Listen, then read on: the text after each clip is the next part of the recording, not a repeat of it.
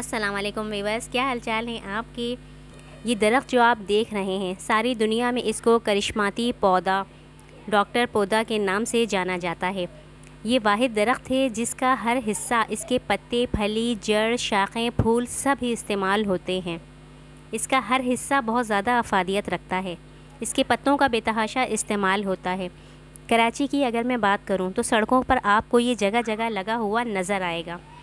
फलियाँ इस पर लगे लगे ही सूख जाती हैं, जो बेतहाशा होती हैं। लोगों को इसके बारे में कुछ मालूम ही नहीं, इसलिए ये ज़ाया हो जाती हैं। और जिनको पता है, तोड़ते हुए उन्हें अच्छा नहीं लगता और वो ख़रीदना चाहते हैं तो उन्हें मैं बताऊँ कि ये सुपर स्टोर इम्तियाज़ में, क्यूमाबाद वाले इम्तियाज़ से मैं ख़रीदती रहती हूँ, वहाँ आपको बसानी मिल जाएँगी। इसके अलावा बहादराबाद वाला जो इम्तियाज़ है, वहाँ पर सब्ज़ियाँ तो नहीं होती लेकिन इम्तियाज़ स्टोर के बाहर सब्ज़ी वालों के पास ये बासानी मिल जाता है। ख़रीद के लाएँ, आप इन्हें घर में पकाएँ। इस फली को छीलने का तरीका, काटने का और पकाने की बहुत डिटेल से वीडियो मैंने शेयर की थी। तो अगर आपको वो तरीक़ा देखना है कि ये किस तरह पकाई जाती है, जिन्होंने पहले कभी नहीं पकाया है, या उन्हें नहीं पता इसे किस तरह छीला जाता है, किस तरह काटा और किस तरह पकाया जाता है तो लिंक मैं डिस्क्रिप्शन में दे रही हूँ, आप वो वीडियो देख लीजिएगा। ये हमें बीमारी से बचाते हैं। इसके फूलों को भी बहुत से लोग कचनार की तरह पकाकर खाते हैं। प्रेगनेंसी में ख़वान को ये ज़रूर लेना चाहिए।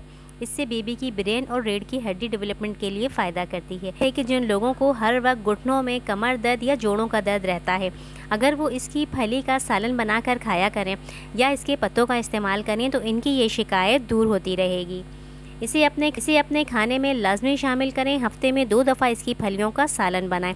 इसमें वो तमाम मिनरल वाइटामिन मौजूद हैं, के लिए, आपके लिए बहुत ज़्यादा ज़रूरी हैं। किडनी हिल पार्क, जहाँ बहुत ख़ास किस्म के दरख्त उगाए गए हैं, वहाँ पर ख़ास किस्म के दरख्तों के साथ साथ मोरिंगा, यानी सुहाजना के भी बेतहाशा दरख्त लगाए गए हैं। और वहाँ पर भी इसकी बेतहाशा फलियाँ उगती हैं, जो लगे लगे सूख जाती हैं। किडनी हिल पार्क की वीडियो मैंने बनाई थी। डिटेल से उसकी वीडियो का लिंक भी मैं डिस्क्रिप्शन में दे रही हूँ, आप वो ज़रूर देखिएगा। इसके फूलों को लोग कचनार की तरह पकाकर खाते हैं। इसके 100 ग्राम पत्तों में ये मुफीद अज्जा पाए जाते हैं जिसमें दही से ज़्यादा प्रोटीन होता है, विटामिन ए गाजरों से 10 गुना ज़्यादा होता है, पोटाशियम केले से 15 गुना ज़्यादा होता है, कैल्शियम दूध से ज़्यादा होता है, विटामिन सी माल्टे से ज़्यादा होता है और आयरन पालक से ज़्यादा होता है। इससे खून में शुगर कम होती है और पत्ते, फलियाँ और बीज जलन को कम करते हैं। इस दरख्त का हर हिस्सा इतनी अफादियत रखता है कि इसके पत्तों, शाखों और जड़ों के साथ साथ बीजों में भी अहम गज़ाई अज्जा शामिल हैं।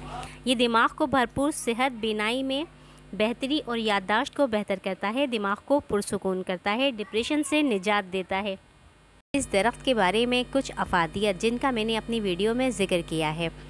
आपको मेरी आज की वीडियो कैसी लगी? अगर पसंद आई हो तो प्लीज़ लाइक, कमेंट, शेयर कीजिएगा। चैनल पर न्यू हैं तो चैनल को सब्सक्राइब कीजिएगा। हम बहुत मेहनत से वीडियोस बनाते हैं आपके लिए। आपको अगर हमारी ये काविश थोड़ी भी पसंद आती हो तो प्लीज़ इसको लाइक किया करें, कमेंट करके शेयर कर दिया करें। और चैनल पे न्यू है तो ज़रूर ज़रूर सब्सक्राइब किया करें। अगली वीडियो तक के लिए अल्लाह हाफिज़।